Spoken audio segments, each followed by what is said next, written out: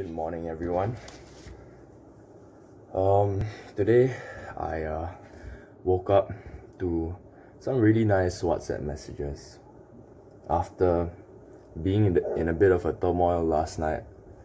So, uh, what happened was uh, I decided with Lionel and Augie to increase the Brothers in Christ group to six people from three people, and um, I guess that move led me to step out of my comfort zone because I mean it's it's way easier to just stick to your group of close friends rather than expand the group. So I was thinking about it and I prayed about it last night because it left me quite unsettled I would say. And God told me that when you read His Word, you are meant to spread it and not just keep it to yourself. In other words, I think He told me that it's good to grow the community and just get more people to grow in faith with you. So that's why I got out of that prayer and I thought it was a really reassuring thing which he conveyed to me. Okay, so that's that. I think the lesson to this is when you are in some kind of turmoil or I guess dilemma, just offer it up to God and He will send you some response. It may not be as perfect as the one I got, but it will be a response nonetheless. And a lot of the time, if it's from God, it's definitely gonna have a lot of wisdom behind it. Anyways, on to the daily reflection today. So today, I watched two videos so far, mm, both recommended by Augie, and both I would say ha have a pretty big impact. Yeah, so I will share them one by one. First one is by Bear Grylls. Um, it's titled a moment to reflect with Bear Grylls, a message for Easter. I desperately need the presence of Christ with me. In me, sorry. All of us struggle. We have a never ending source of support or energy. All we need to do is depend on God's help and power for each and every task we face. Depend on God's help and power for each and every task we face. He starts every day on his knees by he Grylls, quietly reminding himself that he desperately needs the presence of Christ in him.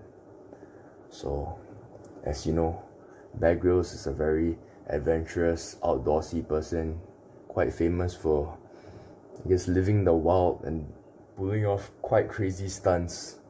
And I never knew that he was Christian.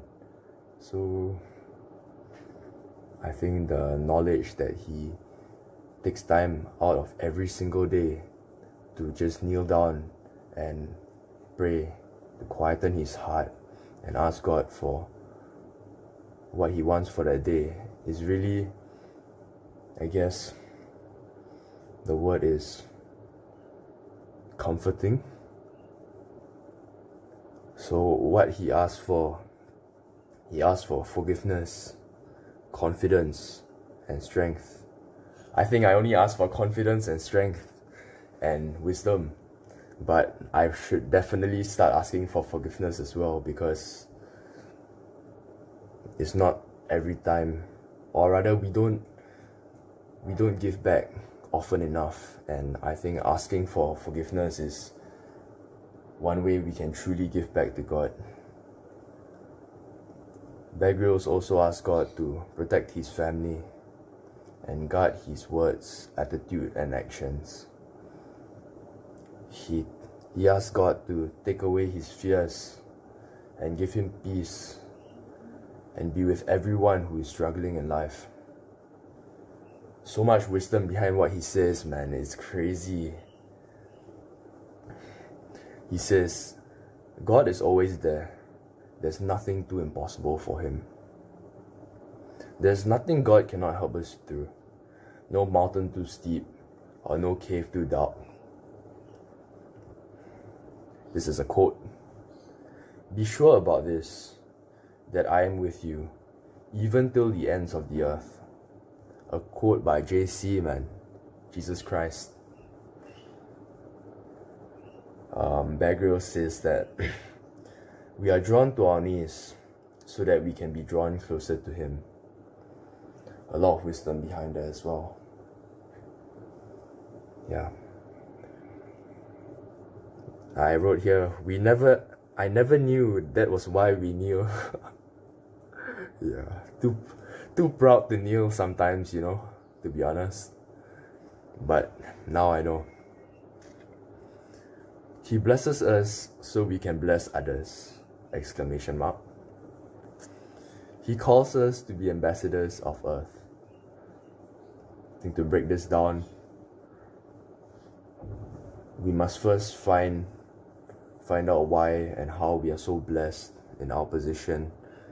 It doesn't have to be big blessings, but it can be as little as, oh, it's such a blessing today that I get to wake up to enjoy this beautiful morning or can be oh i'm so blessed to be able to i guess experience god's love firsthand through other people. And i think in turn we use the blessings that we receive and spread it to other people. In other words being and being his ambassadors on earth like his disciples. So that was for the Bear video. Okay, next we have the hardest video that they have ever made by Nate and Sutton. This video was really good. It was really thought-provoking and it was although it was only 7 minutes long, I took 30 minutes to really break everything down. And um yes. And they said they tried to make they tried to make or rather they try to make their videos uplifting and fun. But because they love their viewers with love comes truth. And truth is not always fun to hear. They read the bible daily to try and understand what it says. Because ultimately you cannot count on others to really tell you what the Bible says, you yourself have to personally first hand read it. Because everyone gets something different from the Bible. God speaks to each and every one of us differently.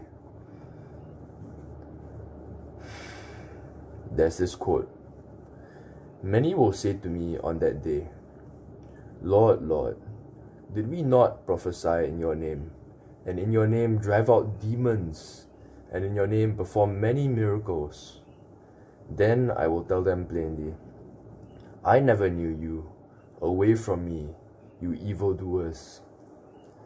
Matthew chapter 7, verses 22 to 23. This verse is quite scary to think about because Jesus is saying that even though there are people who do great acts in His name, He never knew them as they say, or rather, as Nate, Nate said, this is wild to think about. Because imagine doing miracles in His name and yet not being able to enter the kingdom of heaven because you never in the first place stop to truly build a relationship with God.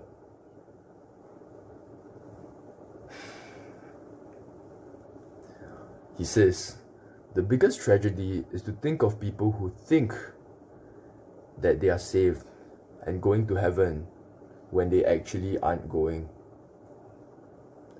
We are all going to stand before Him one day, and He is going to say one of two things. He's either going to say, Well done, good faithful servant, or Depart from me, I never knew you. Oh. How scary is that? Ah. All of your eternity after that is going to be dependent on which question he, or rather which statement he says to you. It's so easy to toss this aside and let the cares of this world consume you because ultimately this world is very secular and not many people are religious. I can testify because I was secular for the longest time for the past 19 years of my life and I think it's only through these couple of months after the army when I truly discovered God again. But ultimately, what could be more important than Judgment Day?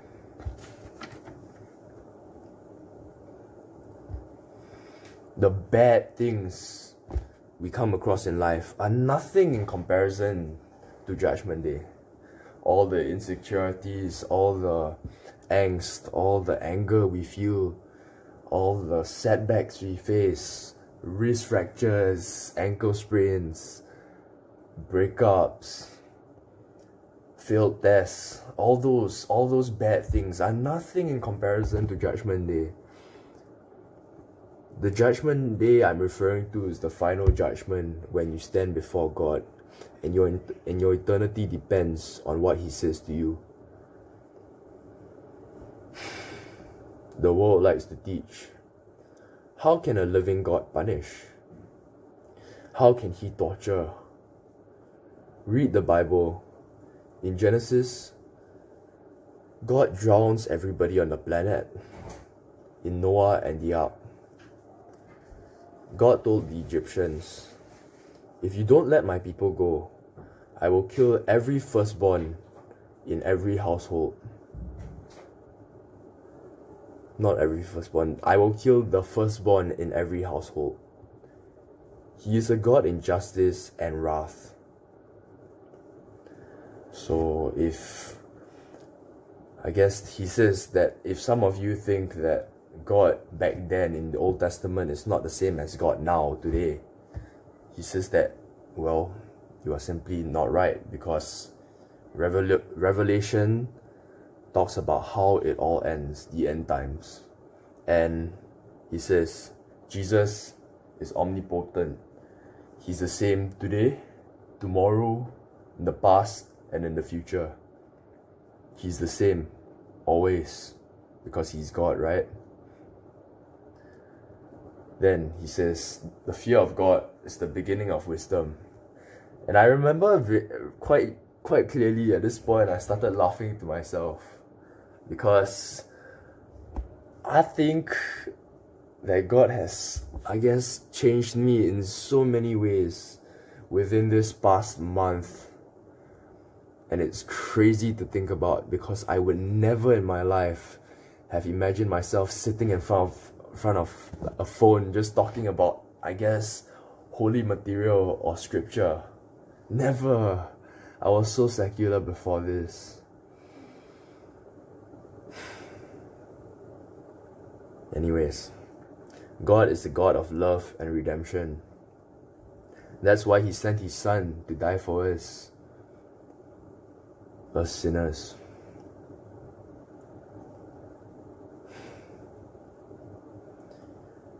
It is all about repenting and becoming new creation, a new creation rather. You have to be born again and you have to die to yourself. This really struck me because God wants us all to just repent and turn away from our past selves because a lot of the time our past is very secular. It doesn't contain Him in it. The question he poses today is Have you surrendered your life to Jesus? We believe that we are all saved by faith alone and not by works. But do you really have faith? James chapter 3 verse 17 Faith by itself, if it does not have works, is dead. It's dead. Do not deceive yourself. Faith without works is fruitless. I think I can relate to this because if you listen to God's good word but do not reciprocate it in your actions, then what's the point, right? And I guess this is really affirmed by James chapter 3 verse 17. There is nothing more important than your, your than your eternity. Are you truly following Jesus? Are you obeying his commands? Are you a new creation? Well, not yet, but I can see myself becoming one. Our prayer for this video is that it's your wake up call. That you come to know God and that He truly knows you. Amen. I think that that, video is such a powerful video. And yeah, I really appreciate Augie for sharing it with me. Thanks for sticking around if you're still here. Peace.